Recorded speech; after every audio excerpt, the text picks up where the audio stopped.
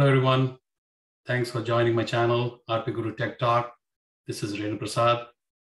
Uh, if you have not subscribed to my channel, please do subscribe uh, to watch uh, more fun videos and also um, get updated when new videos are uploaded in my channel. Thank you so much. If you have a JioFi uh, Wi-Fi router, um, the default login is administrator administrator. So this is a little uh, scary because um, it's very common. Somebody can misuse it.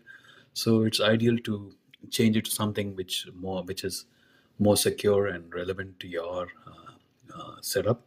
So so you log in as administrator administrator and then um, go to the user management uh, tab and change the username to uh, whatever you want and uh, then give a password which is which is only you will know.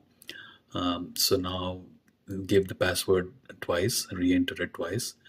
Um, and then once you save it the next time uh, you should be able to log in with the new username and password rather than using administrator administrator. So if I log in again now it'll ask for the username password I've already uh, made a copy so, so I logged in with Renu Prasad which is what I've changed it to. So the username is uh, Renu Prasad. So this is more secure for me. I hope you like thank you